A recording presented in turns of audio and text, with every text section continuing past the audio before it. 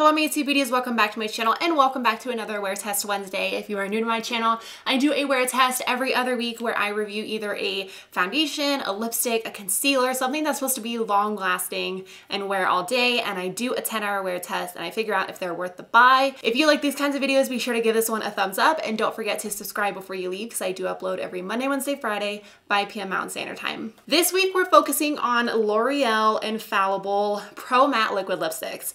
I've never tried tried this, but I know that they came out with this Les Macaroon, Les Macaroons, Les Mac Les Macaron? I don't know. This is the new launch they just came out with. They have these in the regular formula, I guess, or like the regular packaging when they first came out, but this is a new collection. It's Les Macarons. Les Macaroons. I don't I don't really know. But I have two shades right here. They were $10 each, which kind of is expensive for the drugstore. When I bought them, it was buy one get one half off, so it actually ended up being 15 bucks instead of 20 for both of these. I'm excited to test these out. I want to share share some of the claims with you and then put them on my lips, see how they wear throughout the day. All right, so it looks like they came out with seven different shades. I have the shade Praline de Paris and then the shade is Mademoiselle Mango. I thought both of these were right up my alley. This is a little bit more of a nude berry shade and then this is more of that bright pop of orange. So I'm not gonna be wearing the orange one today. I am going to be inserting pictures of the orange one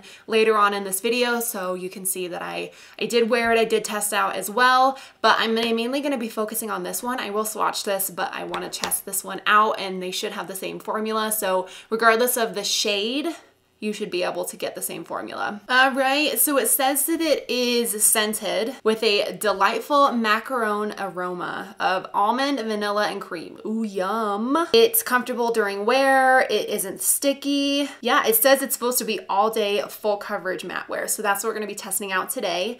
It says that it resists transfer and bleeding. I did notice in the store, I actually opened them up and I noticed that they had the very same applicator that the Smashbox Always On liquid lipsticks have, which I love. It is 8.14 a.m. Let's see, let's swatch them on the back of my hand just so you can get an idea of the color. All right, so this one is so pretty. Ooh, that's really bright and vibrant. That is the first shade.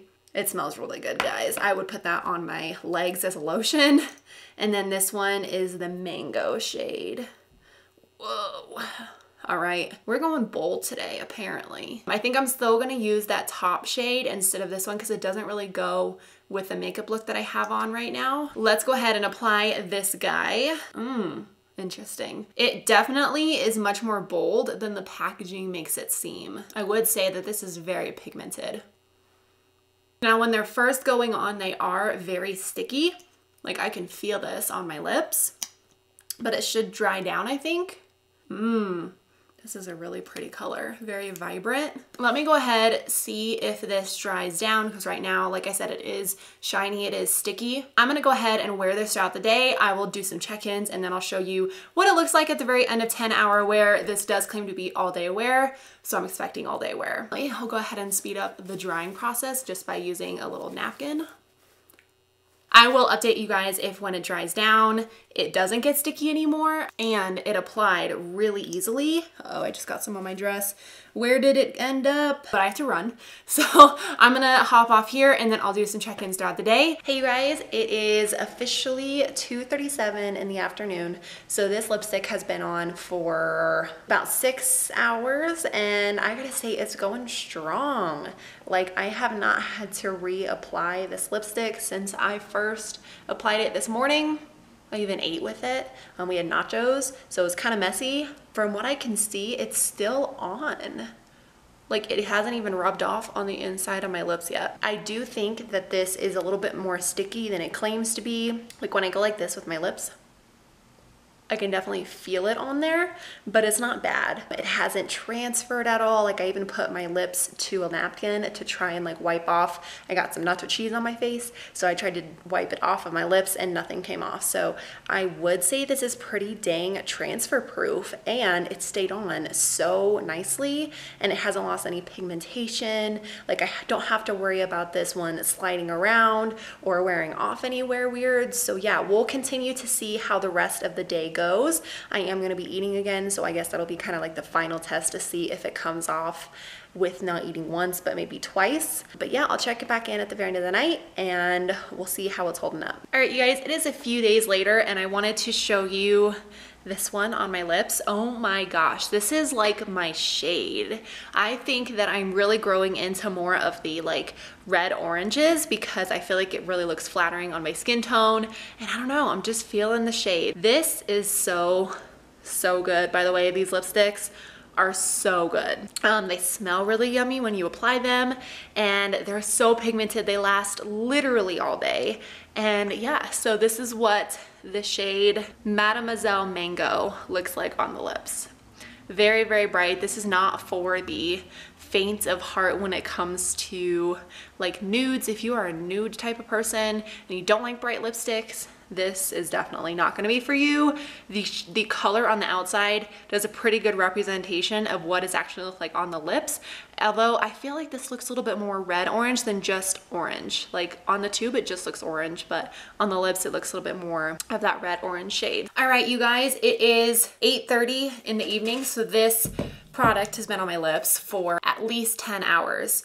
And the fact that I only had to apply this product one time in the morning, I did not reapply this throughout the day, and it's still on my lips. It is starting to transfer a little bit more than it did in the beginning of the day, but even through eating twice and drinking and all of that stuff, it still stayed on my lips. I would say at about four o'clock-ish, like when I got into like the six hour, six, seven, eight hour mark is when I started to feel a little bit more dryness on in the inside of my lips, but what other liquid lipstick doesn't do that. I don't feel like these are more drying than normal. I definitely have more lipsticks that are drier than this in terms of formula. So I feel like it was really comfortable to wear on the lips all day long. The only thing I would say with this is that it is just a little sticky throughout the day. Like I can feel this on my lips more than something like the Sephora cream lip stain. And I actually think the Sephora cream lip stain is either the same price or cheaper than these. I would actually say just go with those, but these are a good option if you want to find something at Walgreens or at Target. Yeah, I definitely give these a big thumbs up. I'm gonna say that these are pretty good. You should check them out and see if you like them as well.